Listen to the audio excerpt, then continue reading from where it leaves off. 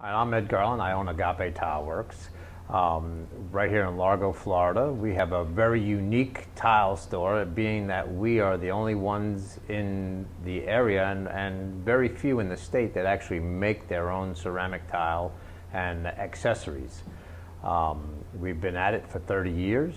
We do beautiful bathroom remodels and kitchen remodels, uh, and a lot of handmade tile. That's all, all handmade 3D reliefed uh, fruit basket that goes on a backsplash in a kitchen.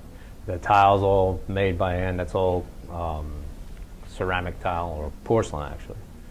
And then uh, all the grapes were hand rolled, and all the all the vining was all um, pressed. These fish that you see on top here those were taken out of a sports magazine uh, of different species of fish, and every one of them is hand painted in glaze and then fired in, in a glazing process and is uh, unique. Every one of them is unique. There's not one that's going to be the same as the next.